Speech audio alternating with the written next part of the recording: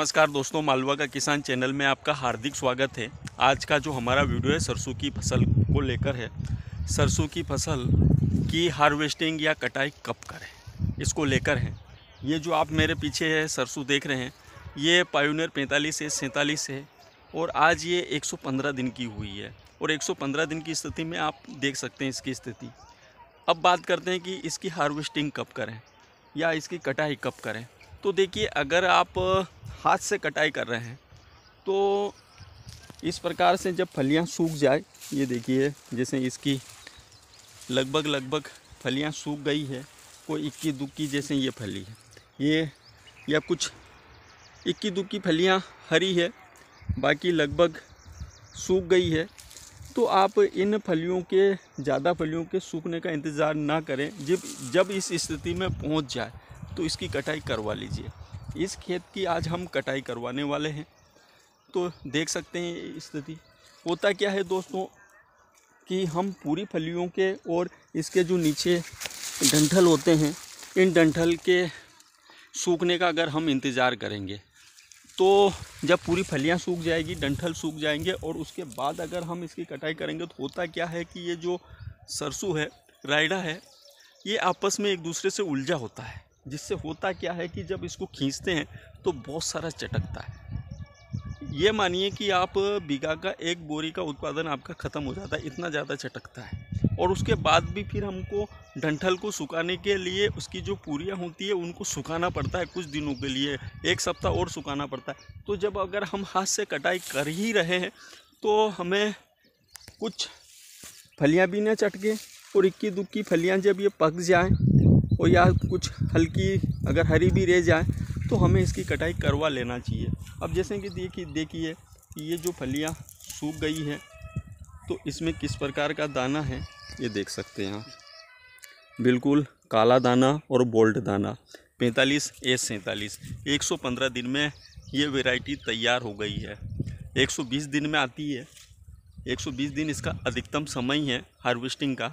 तो आज एक सौ पंद्रह दिन है। हम चाहें तो अभी पाँच दिन और इसको रोक सकते हैं, लेकिन फिर नुकसान होगा। इसलिए 115 दिन की स्थिति में हम इसकी कटाई करवा रहे हैं। और अभी जो हमारे क्षेत्र में पायोनियर 45 से सैंतालीस का जो उत्पादन निकल के आ रहा है, वो छः के समथिंग निकल रहा है कि छः कुंटल पर बीघा के हिसाब से लगभग समथिंग ये निकल रही है। और आप इसको देख सकते हैं कितना शानदार इसके अंदर बीज बना है। बिल्कुल बोल्ड और काला। बिल्कुल ब्लैक, देख लीजिए। अभी ये पूर्ण रूप से सूखा नहीं है, लेकिन फिर भी इतना काला है मतलब कि इसमें तेल की मात्रा अच्छी खासी है। सरसों के अंदर जितना अधिक कालापन होगा, उतना ही आपका सरसों अच्छा और महँगा बिकता है। क्योंकि उसमें तेल की मात्रा ज़्यादा होती है और तेल की मात्रा ज़्यादा होती है तो भाव भी अच्छा खासा मिलता है। करें कि अगर हम इसको हार्वेस्टर से निकलवाएँ तो क्या करें? हार्वेस्टर से आपको निकलवाने के लिए, थोड़ा आपको डंठल के सूखने का भी इंतज़ार करना पड़ेगा और हार्वेस्टर से निकालने पर आपको थोड़ा सा नुकसान उठाना पड़ेगा।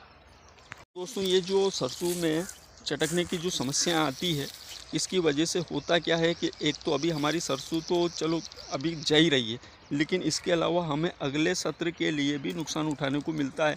होता क्या है कि अगले सत्र में जब हम फ़सल लगाते हैं तो ये सारी सरसों फिर से उगती है।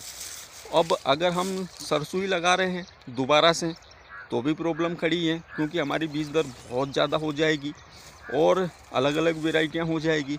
और अगर वही वेराइटी भी बो रहे हैं तो भी हमारी बीज दर बहुत ज़्यादा हो जाएगी, क्योंकि हमें अंदाज़ा नहीं रहता है कि कितना उगेगा, कितना नहीं उगेगा। तो और उसके अलावा, अगर हम दूसरी फ़सल बो रहे हैं तो उसमें खरपतवार नाशक दे दे थक जाएँगे, वहाँ तक वो उगेगा, जितनी बार पानी पिलाएँगे, वहाँ तक उगता रहता है। तो बहुत अधिक नुकसान होता है, निंदाइयों के बहुत ज़्यादा पैसे लगते हैं और सरसों जो है, वो सब प्रकार के खरपतवार नाशक से ज़्यादा भी नहीं है तो मज़दूरों से भी दिनाना पड़ता है। इसलिए हम सावधानी रखें। अब जैसे कि अब इसके जो डंठल है, ये हरे हैं और अगर हम इसको अभी कटवा रहे हैं तो इसके बाद हम इसको पाँच छः दिन पूरिया पूरिया बंधवाएँगे और पूरिया बंधवाने के बाद पाँच छः दिन इसको लगातार खेत में रखा रह के रखेंगे, वो खेत में सूखेगी। उसके बाद पाँच छः दिन बाद या एक सप्ताह बाद हम इसको फिर थ्रेशर करवाएँगे। तो क्या होगा कि ये बहुत ही कम से कम चटकेगी एक बार पूरिया बन जाने के बाद इतनी ज़्यादा नहीं चटकती है। अलावा दोस्तों, आप और अपनी सलाह दें कि हमारे किसान भाई क्या करें? कि सरसों कम से कम चटके। उपाय बताएँ आप, क्योंकि देखिए सबके अपने अपने अलग अलग हिसाब से उपाय होते हैं। तो जो परिणाम निकल के आते हैं, वो सुखद परिणाम निकल के आते हैं तो आप अपनी राय ज़रूर दें हमारे किसान भाइयों को, ताकि कि उनकी जो फ़सल है, चटके नहीं, और उनको आगे भी परेशानियों का सामना करना ना पड़े, और हमारा जो उत्पादन है, वो भी कम ना हो। दोस्तों, कमेंट करके बताएँ कि आपने कौन सी सरसों लगाई है, किस स्थिति में है और अगर आपके क्षेत्र में अगर सरसों निकल गई है तो क्या उत्पादन चल रहा है? हमारे यहाँ पर अभी कुछ खेतों में निकली है पैंतालीस या सैंतालीस तो ये लगभग छः के समथिंग चल रहा है इसका उत्पादन। हालाँकि जो बहुत अच्छे खेत थे, जहाँ पर बहुत अच्छी निकलती है, जहाँ सात का अनुमान था, वहाँ पर भी थोड़ा सा उत्पादन कम हुआ है। तो उसका कारण था दोस्तों कि जब हमने इसकी बुआइयाँ करी थी, उस समय जो मौसम ने गड़बड़ किया है, मौसम उस समय बहुत अधिक गर्म रहा है, उसकी वजह से सरसों में काफ़ी अधिक नुकसान हुआ है। सरसों में उस प्रकार की ग्रोथ कर ही नहीं पाई है। तो उसकी वजह से थोड़ा सा नुकसान देखने को मिल रहा है सरसों में। कमेंट करके ज़रूर बताएँ कि आपने कौन सी सरसों लगाई है, किस प्रकार का उनका उत्पादन चल रहा है और किस प्रकार की स्थिति में अभी वो है। और दोस्तों, हमारी ये सरसों आपको कैसी लगी? हमारा ये वीडियो कैसा लगा? अगर हमारी ये सरसों अच्छी लगी हो, वीडियो अच्छा लगा हो, हमारी जानकारी अच्छी लगी हो तो वीडियो को लाइक करें, कमेंट करें, ज़्यादा से ज़्यादा शेयर करें, ताकि हमारे किसान भाइयों का नुकसान ना हो। नमस्कार दोस्तों।